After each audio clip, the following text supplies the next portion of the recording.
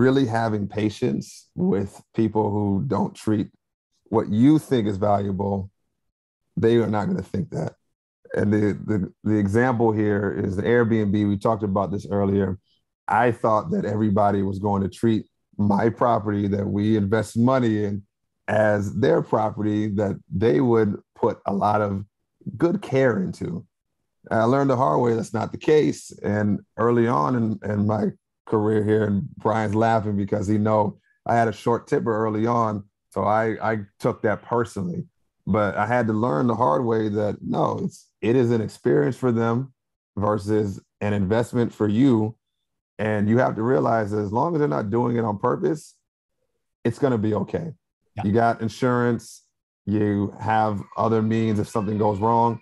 So having patience is something that I learned the hard way, but it's something that I try to work on every single day. And it's helped because we've had other issues come up. And because of the early experiences, it did not faze us. And we, uh, we kept moving forward with better and better reviews for our properties.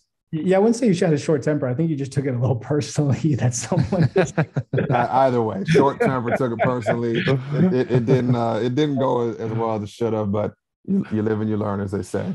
Yeah, man, and congrats on being a dad. I mean, that's really cool. But I will say the one thing in the planet that will teach you patience is kids. And oh, so, 100%. Uh, yeah, yeah, I think you can hopefully relate to that and be like, you know what, if I, if I can uh, learn from my son and then put that into practice in other areas too. It's like patience is a virtue yeah. for sure. That's Brian, right. what about you?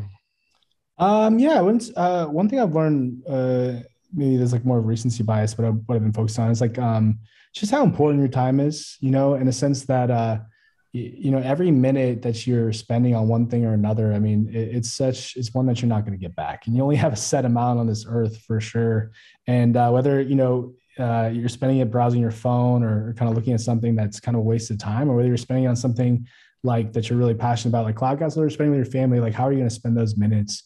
Um, is something that I've just been reflecting on. I think I've honestly, I think everyone's wasted time and everyone's not made the use, best use of their time, but I've tried to just of late um, just really keep keep it hard and and uh, almost calculate like you know if I spent this many more minutes on something, what, would the return be? Like if I spent this much more on this relationship, what, how would, you know, this, this like, you know, how would both our lives be better? This much more working on this particular coding problem. Would I be able to solve it? Like what are, what's the return of actually time spent? Because it's really, you know, you can ask any billionaire, anyone who's made it all the money in the world on real estate, you know, anyone would take, uh, you know, trade all their money back in for more time on earth or to be young again. So um, I think it is really the most valuable commodity we have.